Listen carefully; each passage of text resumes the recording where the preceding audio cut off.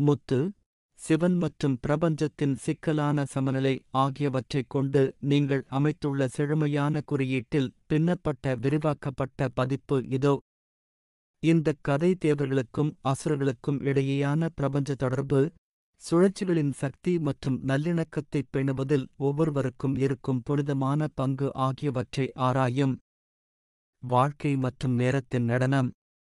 அடர்ந்த காட்டின் ஆழத்தில் ஒளிவீசும் நீலச்சுடர் வடிவில் வீற்றிருந்த சிவபெருமானின் முன் நின்றான் முத்து என்ற அடக்கமான தேடுபவன். சிவனின் குரல் காற்றில் எதிரொலித்தது பழங்கால நாணத்தைச் சுமந்தது. ஏன் ஆண்டவரே? முத்து கேட்டான் அனைவருக்கும் உயிர் கொடுக்கும் சூரியன் பாம்புக்கு பயந்தானா? சிவன் மெதுவாகச் சிரித்தான் அவன் பார்வை முத்துவின் ஆர்வத்தைத் துளைத்தது அன்புள்ள முத்து பாம்பு ஒரு உயிரினத்தை விட மேலானது.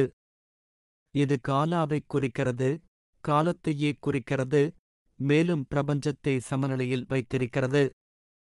அது இல்லாமல் சூரியனால் கூட அதன் பாத்திரத்தை நிறைவேற்ற முடியாது. பிறப்பு இறப்பு மற்றும் மறுபிறப்பு சுழற்சிகள் தடையின்றி இருப்பதை உறுதி செய்யும் வகையில் பாம்பு பிரபஞ்சத்தை சுற்றி வருகிறது. முத்து யோசித்து வியப்படைந்தான் அவன் மனம் கேள்விகளால் துடித்தது.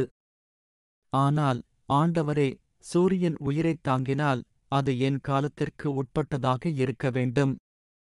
ஆ சிவன் பதிலளித்தார் சூரியன் படைப்பின் விதிகளால் பிணைக்கப்பட்டுள்ளது. அது நிலையாக உருவாக்கம் மற்றும் பாதுகாப்பின் சின்னமாக உயர்ந்து அமைக்க வேண்டும். இருப்பினும் பாம்பு அனைத்தையும் நெசவு செய்கிறது எந்த ஒரு படைப்பும் தேக்கமடையாமல் இருப்பதை உறுதி செய்கிறது. இது வாழ்க்கை மற்றும் கலைப்பு இரண்டையும் தருகிறது அதனால் புதுப்பித்தல் வெளிப்படும். இது தெய்வீக லீலா வாழ்க்கை மற்றும் இறப்பு நாடகம். இது அனைத்து பகுதிகளின் கடவுள்களும் மனிதர்களும் மதிக்க வேண்டும். தேவர்கள் மற்றும் அசுரர்களின் சமநிலை.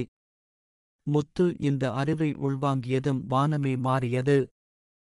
முத்து தனது ஆன்மீக தரிசனத்தின் மூலம் பிரபஞ்சம் விரிவடைவதையும் அதனுடன் தேவர்கள் மற்றும் அசுரர்களுக்கும் இடையேயான காலமற்ற மோதலைக் கண்டார்.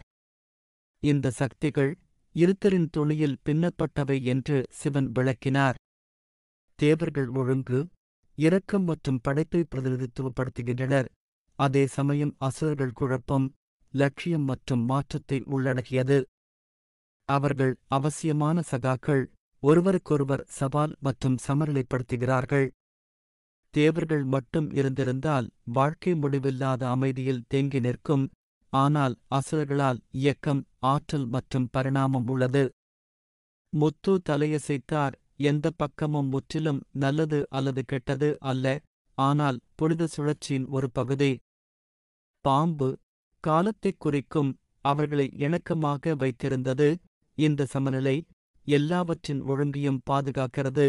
ஏனென்றால் கடவுள்களும் அசுரர்களும் கூட ஆதி பராசக்தியின் விதிகளுக்கு பதிலளிக்கிறார்கள். முதன்மையான நித்திய சக்தி அனைத்து படைப்புகளுக்கும் தாய் டோட் மறுபிறப்பு மற்றும் வாழ்க்கையின் நித்தியரிதம் சுழற்சி. பிரபஞ்சம் அவன் முன் நடனமாட முத்துவின் இதயம் ஆச்சரியத்தால் நிறைந்தது. ஆதி பராசக்தியால் இணைக்கப்பட்ட பிறப்பு வாழ்க்கை இறப்பு மற்றும் மறுபிறப்பு ஆகியவற்றின் முடிவில்லா சுழற்சியின் ஒரு பகுதியாக அவர் ஒவ்வொரு உயிரினத்தையும் பார்த்தார். ஒவ்வொரு உயிரினமும் சிறிய பூச்சி முதல் வலிமைமிக்க கடவுள்கள் வரை இந்த தாளத்தின் ஒரு பகுதியாகும்.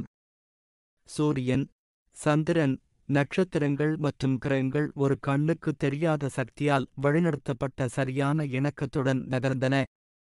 பாம்பு சுருண்டு சுருண்டு அவிழ்வது போல வாழ்க்கையும் பாய்ந்து செல்கிறது என்று சிவன் கிசுகிசுத்தார். ஒரு உயிரின் மரணம் இன்னொரு உயிருக்கு ஆற்றலைத் தருகிறது. ஒவ்வொரு ஆன்மாவும் அது கற்றுக்கொண்ட பாடங்களையும் பகிர்ந்து கொண்ட அன்பையும் சேகரித்த ஞானத்தையும் தன்னுடன் சுமந்து கொண்டு திரும்புகிறது. இந்த பிரபஞ்சத்தில் உண்மையில் எதுவும் இழக்கப்படவில்லை. அனைத்தும் வெறுமனே மாற்றப்படுகின்றன. டோட் படைப்பின் மரபு மற்றும் மனிதகுலத்தின் பங்கு. இறுதியாக சிவன் கருணைப் பார்வையுடன் முத்துவிடம் திரும்பினார். நீங்களும் இந்த சமநிலையின் ஒரு பகுதி. மனிதகுலத்தின் பங்கு அவசியம் ஏனென்றால் உங்கள் அன்பு இரக்கம் மற்றும் தானத்தின் மூலம் நீங்கள் அனைத்து உயிரினங்களையும் இணைக்கும் தெய்வீக ஆற்றலைப் பெருக்குகிறீர்கள். ஆனால் சமநிலையின்மை குறித்து எச்சரிக்கையாக இருங்கள். ஏனெனில் கட்டுப்படுத்தப்படாத ஆசைகள் மற்றும் அறியாமை நல்லிணக்கத்தை சீர்குலைக்கும்.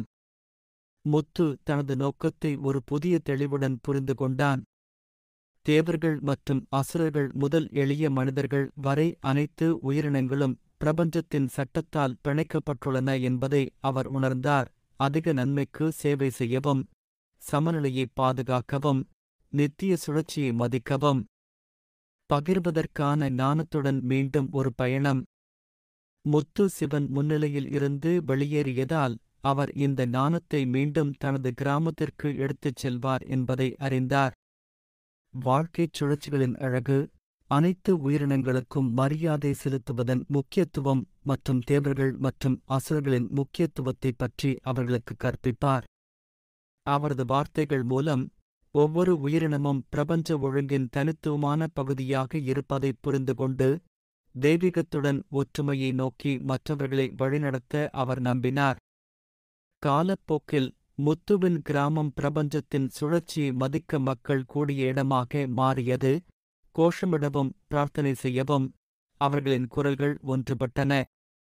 மேலும் சூரியன் சந்திரன் மற்றும் நட்சத்திரங்களின் பார்வையின் கீழ் அவர்கள் காலத்தின் பாம்புடன் இணக்கமாக வாழக் கற்றுக்கொண்டனர். உருவாக்கம் மற்றும் கலைப்பு வாழ்க்கை மற்றும் இறப்பு ஆகியவற்றின் சமநிலையை மதிக்கிறார்கள்.